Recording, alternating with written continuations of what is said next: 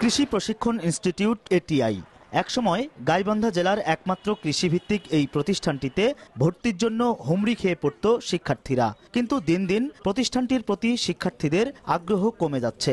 আড়াইশো সিট থাকলেও ষোলো সতেরো শিক্ষাবর্ষে শিক্ষার্থী রয়েছে সাতাশি জন।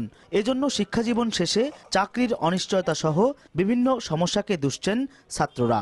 আমরা এত কষ্ট করে পড়তেছি এত মানে দিন রাত এক করে পড়তেছি এর ক্ষেত্রে আমাদের কোনো সফলতা পাচ্ছি না। আমাদের এখানে পড়ে কি লাভ? আমাদের তো কোনো কর্মসংস্থানের সুযোগ নেই। এক্ষেত্রে সরকারকে উচিত আমাদের গাইবান্ধার কোঠা সৃষ্টি করে দেওয়া এবং কর্মসংস্থানের সুযোগ সৃষ্টি করে দেওয়া। এই প্রতিষ্ঠানের ছাত্রছাত্রীদের জন্য উপবৃত্তির কোনো ব্যবস্থা নেই। কৃষি ডিপ্লোমা শেষে উচ্চশিক্ষা অর্জনের ব্যবস্থাও নেই। ফলে দিন দিন হতাশা বাড়ছে শিক্ষার্থীদের মধ্যে। বাহান্নটা সাবজেক্ট কমপ্লিট করার পরও ইন্টারের সমমান দেওয়ার পরও আমাদের কোনো জায়গায় পাবলিক ভার্সিটি বা ন্যাশনাল ভার্সিটিতে এমনকি কোনো ডিগ্রির ফর্ম তোলার যোগ্যতা আমাদের নেই।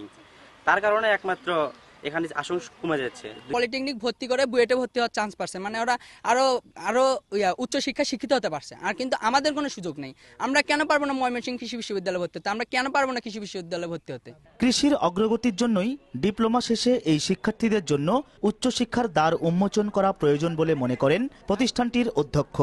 আমি মনে করি যারা মেধাবী, এখান থেকে যারা বেরোয় যাচ্ছে বা এইসব এটিএ থেকে, যারা মেধাবী তাদের জন্য একটি আলাদা ইউনিভার্সিটি করা যেতে পারে উচ্চশিক্ষার জন্য। যেমন আমাদের ইঞ্জিনিয়ারিং ক্ষেত্রে ডুয়েট বলে একটা ইউনিভার্সিটি আছে।